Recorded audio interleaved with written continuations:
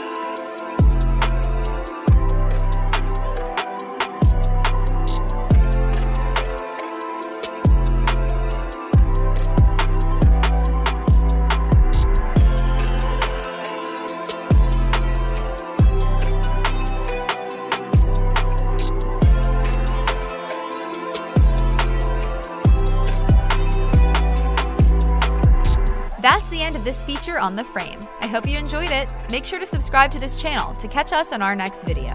See you next time!